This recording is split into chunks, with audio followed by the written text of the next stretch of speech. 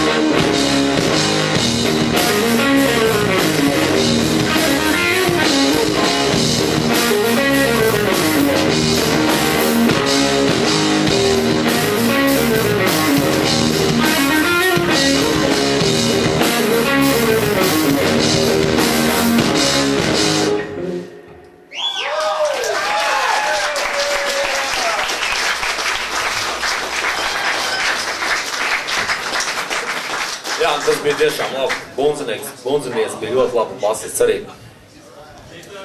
Nu, ko žūrija saka par ģitāristu, es nezinu. Nu, Jānis ir pieredzējis ģitārists. Ļoti labi novērtē situācijas, spēlē uh, ar lielu atbildību par katru notikotu spēlē un nelien tajā teritorijā, kur tu nejūties drošs. Tas vienam ir jau vērā ņemams, ka cilvēks zina, ko viņš var un par to, to spēlē pārliecinoši. Laba skaņa, grūvīgi. Nu, ko es piebilstu, es došu balonu, lai turpina. Jā, man ļoti patīk tas, ā, tas foršais moments, kad nokrīt ģitāras jost un kaut kādā veidā ir jāizlien no tās situācijas, tas piedod tādu vēl tā kā lodziņu tai performancē no manas skatu punktu. Nu, protams, tev trūms ir dzīvā grupa. Ne visi to vienmēr var savākt un atļauties, bet tas uzreiz skan tā kā tam ir jāskan. Jā, daži, kas spēlē ar MP3, protams, tas ir kompromiss, mēs to saprotam, ka tas ir kompromiss, bet nu, dažreiz mēs to darām. Un dzīvā grupa vienmēr rulē. The first Gibson. I like it. You have a very good sound, uh, okay, because of the Gibson. But uh, I like your sound, and I have to give a eloge. I don't know is that English, but uh, to the drummer. A beautiful uh, drummer, what you have tonight. Whoa! Cheers! Thank you very much. yeah, For, Jā, par pavadījumu cepuru Tavs skatuviskais tēls, rītīgais skarbais raka vecis, viss cool, uzējot jau virsū, viss bija skaidrs, kas to notiks. Aiziet apstāst pie viena pastiprinātāja pie otra, uzdārdina kādu skaņu un jūtam, ka būs raks. Un sāks ar to, ka lielākā daļa žūrijas locekļu sāks līdz kājām jūtam grūvu. Jā! Un tad ir kaut kas, kas man ļoti sarūktināja. Tu sāki pentatonikas boks un tur arī paliki. Jā! Es tev pateicu ļoti skarbi, bet Jā, uh, Armāns Augsnis uh, pateica to cilzētāk. Tu nelien teritorijā, kuru tu tik droši nepārvaldi. Tas ir tas, ka tu paliki boks, un mans novēlējums tev think out, the out of the box. Domā ārpus kastītes, ja? Spēlē pa divām oktāvām močī, un tad uz beigām vēl parādījās, ka tu pa vidu izmantoji tās pašas pentatonikas notas, ja? Un šo visu es sauktu kā Satiekamies mēs ar čomiem, hei, kā iet, uzspēlējam kādu grūvīgu ritmiņu, iekšmīgi, whatever, ko izdomāsim, tas būs, liežam, baigi vienveidīgi, pamēģinam ritmu mazliet, pamēģinam kaut ko citu, jā, pamēģinam, piemēram, tonalitāti pamēģināt. Svarīgi izskatījās, kā grupa iesildās pirms viņi sāk mēģinājumu, tas bija viss baigi grūvīgi, baigi forši, jā, bet uh, es tev novēlu un iesaku nebaidīties iet ārpus pentatonikas, un to arī trenē, jā, bet tā grūvīgi, un Pauls kaut ko vēl gribēja pateikt. Uh, Jā, klausoties tavu komentāru, es arī gribēju vienkārši piebalsot. Tiešām tā pentatonika dažreiz ir tā, tā kā nu, ģitāristiem tā kā tāds lāsts, ja, no kura varētu mēģināt kaut kā izbeigt. Un uh, es domāju, ka tavam tonim ļoti labi piederētos vēl kāds laha pedāls vai delay efektiņš. Piemēram, tas solo manai ausī savu skanēja savs, bet plus no manis par to maiku santimoni ļoti labi rūpē. Okay, paldies, žūriem!